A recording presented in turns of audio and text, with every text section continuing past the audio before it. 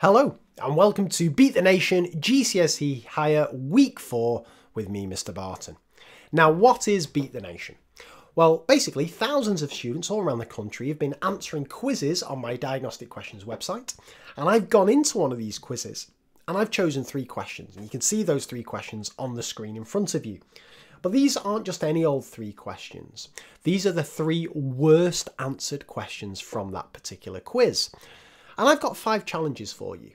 So your first challenge is, can you get each of these questions correct? And thousands of students have struggled with them, so that's going to be easier said than done. And then secondly, out of these three questions, what do you reckon the worst answered question is? And then for each of these three questions, can you predict in advance what the most popular choice of a wrong answer might be? And then can you explain why students might choose that popular choice of wrong answer? And then finally, and I think this is the hardest challenge of them all, if you were sat next to one of these students who was struggling with one of these questions, how would you help them out? How would you help them see not only that you're right, but in a nice way, that they're wrong? So my advice would be pause this video now, work your way through these three questions, take your time, bear in mind my five challenges, and then when you're ready, resume this video and we'll go through these together. Good luck.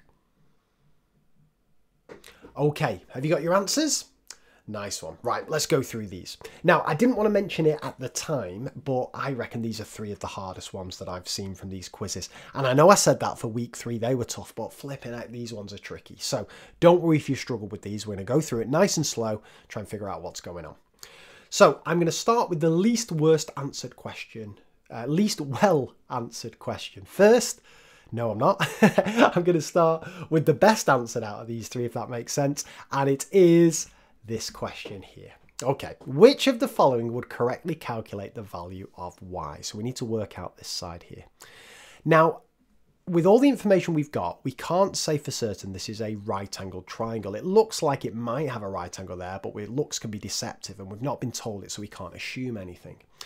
So we can't use our usual Pythagoras or SOHCAHTOA or anything like that. So we've got to turn to our other two things, which is the sine rule which is super useful for non-right angled triangles, and the cosine rule, which is also super useful for non-right angled triangles. Now, you've got to learn these rules, but more importantly than learning the rules themselves, you've got to learn when to use them. So I have one thing that I like to say to my students whenever we're talking about identifying when to use the cosine rule, and that is look for what I call an angle sandwich. Now bear with me a second here. By an angle sandwich, I mean you've got two sides, side there and a side there, and you've got an angle in the middle. And can you see there? It's like that's a bit of bread, that's a bit of bread, and your angle's the meat in the center. Whenever you've got something like that, and you're asked to work out the thing opposite it, that is a sign that you need to use the cosine rule. That is the sign that that angle sandwich is super useful for working out that thing opposite it, or even, to be honest with you, it's pretty good with a little bit of rearrangement for working out things like that. But if you've got that angle sandwich, that's your setup that it's cosine rule. Whereas if you're thinking about using the sine rule, what I always look for here is if you've got an angle there and a side there, and you've got an angle here and a side there, it's this kind of cross thing. It's this I've got two opposites that I need to work out. When I see a cross like that in the middle, that's a, a, sign for me that I need to be thinking about the sine rule. So I'm looking for an angle sandwich for cosine rule or these crosses, these opposites for sine rule. So what have I got here? Well, I've got a side there, I've got an angle in the middle, and I've got a side there. So I've got my angle sandwich, so it's going to be my cosine rule. So that's all well and good, but I've got to know what my cosine rule is. So again, there's there's lots of ways of writing this with different letters, but I, I think of it this way, and I'll talk through what I mean by each of these in a second. a squared plus b squared minus two lots of ab, and then I need the cosine, or just the cos, of c. And that whole thing square rooted. Now what I mean by that is a and b are your sides either side of your angle sandwich. So for example, if I just find my pen, that side there, 12 might be A, and that side 5 there might be B. So I've got here 12 squared plus 5 squared. Then I've got my A and B again, so two lots of 12 and two lots of 5. And then I've got cos of my angle that's in the middle of my sandwich of 53 square rooted. So I can see there that that is option C. Um, Option A and B are sine rule, but I don't have my crisscross. And option D is really close, but I've got a plus there when in fact I need a minus there. So it's hard question this, because first you've got to choose whether it's sine rule or cosine rule. Then you've got to remember the intricacies of that particular rule. And it'll be no surprise to you that well luckily we've we've got this question right but look at that. Only just over half the students who attempted this question got it right. The uh, the most popular wrong answer is a people using the sine rule. Why, why do they think it's a? I think you need to divide the side length by the opposite side length and then multiply it. So a student's got the head around it they've kind of seen that it's a bit of an opposite. They've recognized that one of these rules is needed but they've chosen the wrong one. They've chosen sine rule. Whereas if we had, for example, this angle down here, then we'd get that crisscross for sine rule, but we don't. We have an angle sandwich. Whew, and that, that's the best answer out of these three. What's the next one? This question here. More angles, more triangles, more sides. What is the size of angle P? Give your answer to one decimal place. As soon as I see one decimal place, I'm thinking straight away calculator is going to come into play here. So now, look at this. This, this is also a non-right angle triangle. So maybe this is sine rule or cosine rule, but we don't seem to have enough information. But actually, this is a special type of triangle, and those two dashes tell us that this is an isosceles triangle. Now, whenever we have an isosceles triangle, and it's something to do with angles and sides, I always think to myself, let's split it. Let's split it in half down the centre. I know it's a terrible line.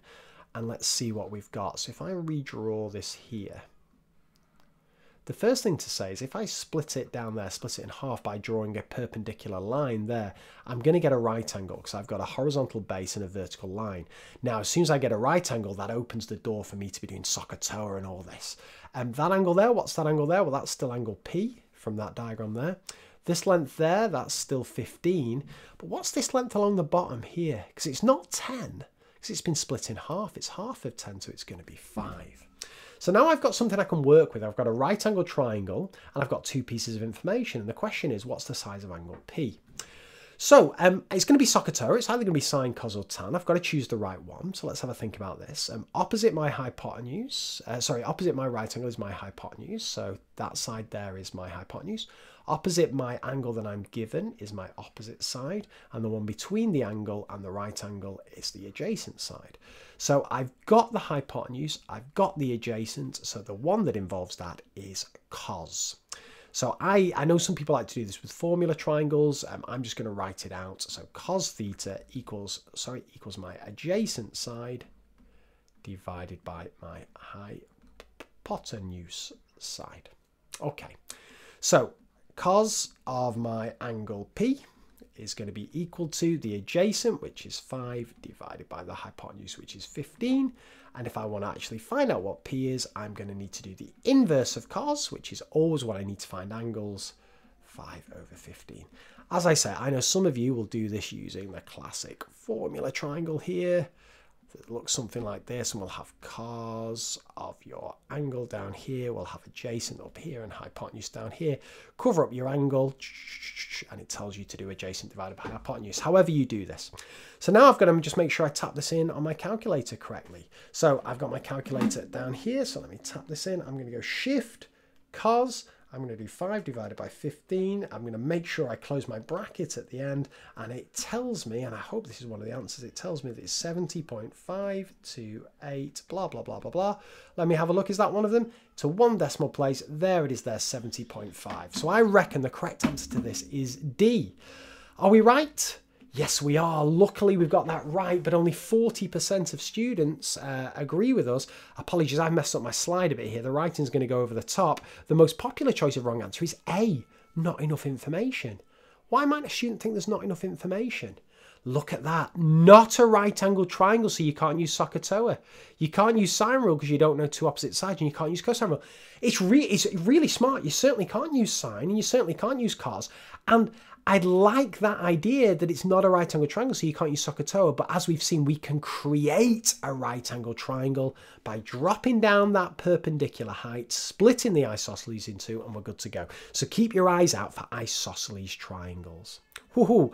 And that is only the second worst answered question. The worst answered one is this one. Now, if you've been following this Beat the Nation series, it will be no surprise to you this. We've seen functions crop up before and cause problems. What's going on here? So if f of x equals, so let me write this down. I, I can't do f's very good, but here we go. We have x squared minus 3x plus 1. And what we want is we want f of 2x.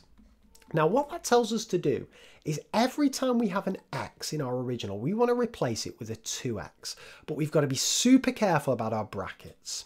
So can you see how this is x squared? Well, in my new function, it's not going to be x squared, it's going to be 2x squared. But notice how it's the whole thing. If it helps, I know some students, I think this is a really good idea, they put brackets around the in, around the, the letter in the original function, and then you can simply replace that letter with your new letter here, 2x.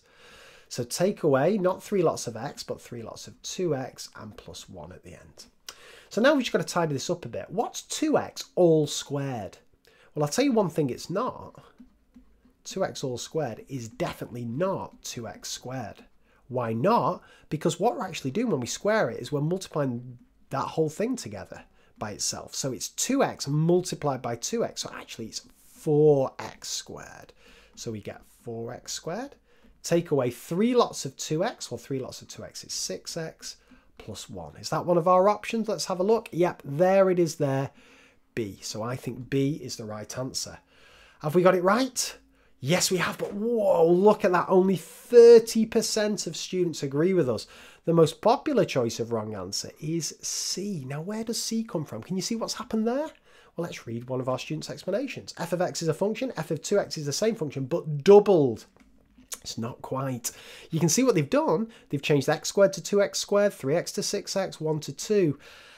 C is the correct answer but to a different question. Do you know what question C is the correct answer to? It's this one. What would be two lots of f of x? That's where you double it. But f of 2x means that you take that letter and you replace it, all the x's, with two x's and take it from there. Whew, you need a cup of tea or a rest after that one. Oh, and I've just shared this one as well. And um, there's a student who thinks the answer's A. Um, now, this is really unlucky, this. They've got the idea, they've subbed 2x into the equation, but you know what they've done here when they've done 2x squared is they've written that as 2x squared when we know 2x all squared is actually 4x squared. Lots of ways you can go wrong with these. They're so tricky. How did you get on with those three questions? As I say, don't worry. If you struggle with them, don't worry. Thousands of students have struggled with, with these questions. They are hard, hard questions. But by confronting them in this way, hopefully we can get our head around them and get them right in future. Um, if you, as this, if this has whet your appetite for more, um, if you head to my diagnosticquestions.com website forward slash revision 2019, then you can access loads of these quizzes to try it yourself. And if you're a teacher watching this and you want to set these up for your students so they can do them on their own, um, if you go to eedi.co.uk, you can set this up as a scheme of work or you can um, allocate quizzes individually. Uh, it's all completely free. And if you want to get your students set up on the platform, drop us an email with a spreadsheet with your kids' names and their class names attached to it to hello at eedi.co.uk and we'll get your students on the system so they are up and running. Hope you enjoyed that and I'll be back with another Beat the Nation soon. Take care and bye for now.